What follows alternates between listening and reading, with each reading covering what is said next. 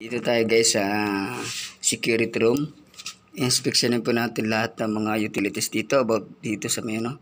Especially here in IDF. Ayan, pakikita ko po sa inyo. Yan. Para ma-filmeres. Ito po yung yan. Sa example, ito po, ito yung fiber optic, di ba? Yun yung machine na yun. Equipment na yan po yung yung fiber, ano, fiber connection. Fiber, same same as ah, media converter. Fiber po siya dito, paglabas po din sa kabila is copper na, especially in CAT 6.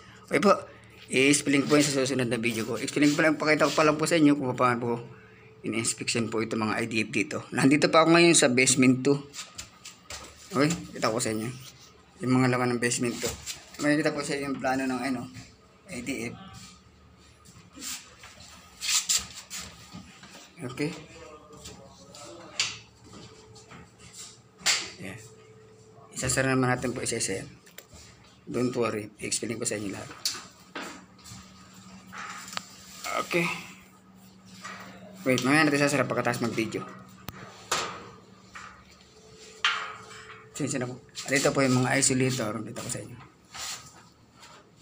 Ayan. Excuse me. Yan, yan po yung ano, yung raised floor. Dating binidyohan ko before bago gawin.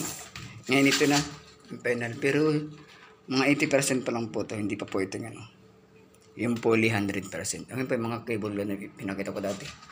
Since na po kayo sa magulo kanina nag-video ako. Kung ano sinasabi nila. Okay po.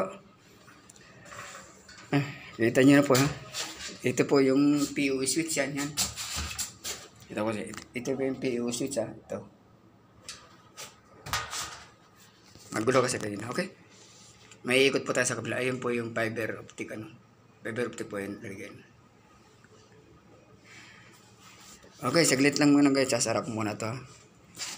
Kasi naka-in charge dito nagagalit. Okay, bye-bye.